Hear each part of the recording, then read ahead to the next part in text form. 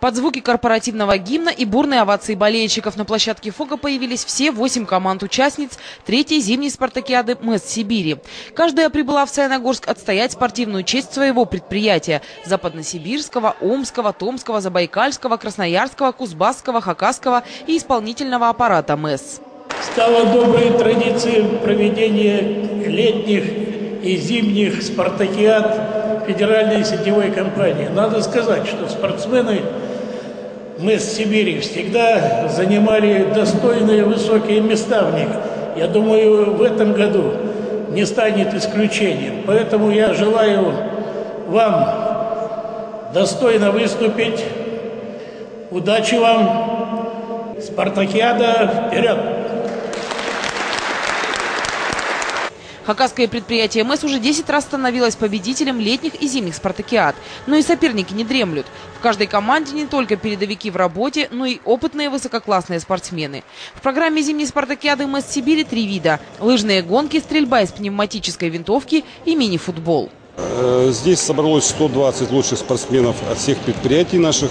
Э, принцип формирования прост. На, на каждом предприятии проводились отборочные соревнования, по итогам которых были сформированы сборные команды э, предприятий, которые выступают здесь. По итогам этих соревнований будет сформирована сборная МС Сибири. Первыми включились в программу соревнований футболисты. Команды разбили на две подгруппы по четыре в каждой, игра в два тайма по 10 минут.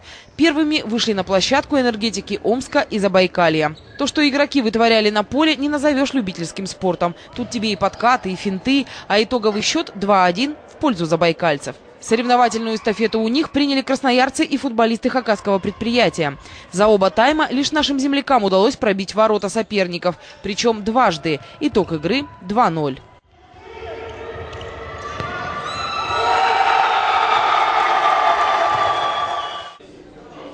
Параллельно в тире физкультурно-оздоровительного комплекса стрелки упражнялись в меткости. От каждой команды по два разнополых представителя. На именном листке 6 мишеней, 5 пробных выстрелов, 20 в зачет. Эту дисциплину команды-участницы сдают из двух положений – стоя и лежа. Стрельба из тех видов, которые не любят болельщицкого шума. Поэтому ничто, кроме шепота коллег и звуков выстрела, не нарушает концентрацию.